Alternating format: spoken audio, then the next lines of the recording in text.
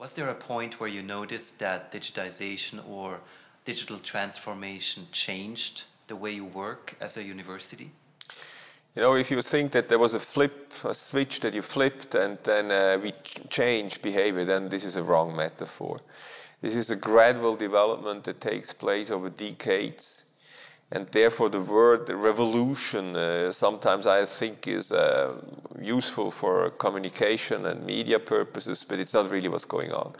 This is a continuous transformation that has started in the 1980s, even before probably, when first email appeared, when the first computers were networked together, early 1970s, ARPANET and all these developments at that time, the protocols were invented, the browser technology was invented.